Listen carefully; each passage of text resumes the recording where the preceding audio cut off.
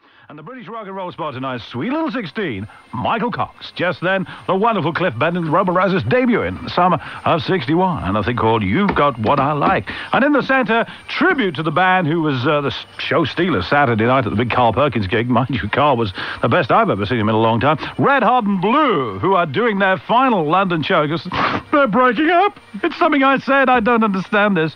This coming Thursday, November the 17th, where I'm sure they'll do Sure Like the Look in Your Eyes. They're at the Tennessee Club in Devonshire Hill in Tottenham. Red Hot and Blues' last London show.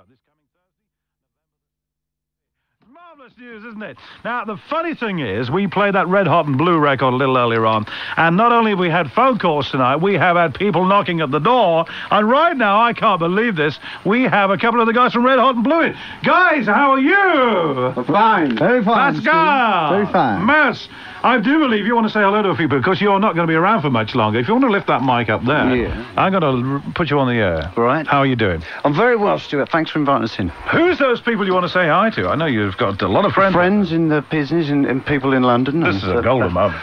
Well, I'd say hello to all the uh, rocking 50s cats in the Capital Gold area, uh, to all the people who go to the Russell Arms, Dingwalls, Boston Arms, and to all the rock and roll DJs and bands. And especially to Andy and Dave, who are not here tonight with us, but they're listening in. And uh, from Red Hot and Blue, that is.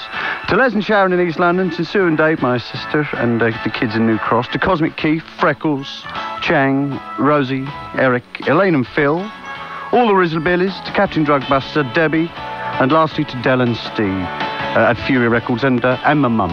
Okay? And to all the people that have supported Red Hot and Blue over the years. Go on, Pascal. You want to say Okay, I would like to say good evening to Sarah and Peter. Okay. Have we left anybody out?